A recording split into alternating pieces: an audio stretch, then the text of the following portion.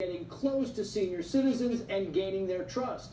Now police are going back and looking at 750 unattended deaths of elderly women to see if there might be possible links. Chemirmir's attorney says her client denies the allegations. He's being held in the Dallas County Jail and has been since last March.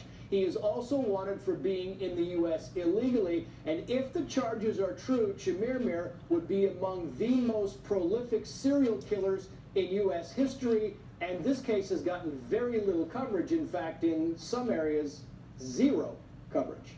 Tucker. Yeah, I wonder why. Trace Gallagher, thank you for filling in those blanks. Appreciate it.